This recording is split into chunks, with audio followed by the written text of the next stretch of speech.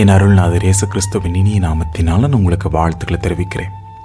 இன்றைக்கான வேத வாக்கியம் உன் தேவனாகிய கர்த்தர் உனக்கு கொடுக்கும் தேசத்தில் நீ போய் சேரும்போது அந்த ஜாதிகள் செய்யும் அருவறுப்புகளின்படி செய்ய கற்றுக்கொள்ள வேண்டாம்.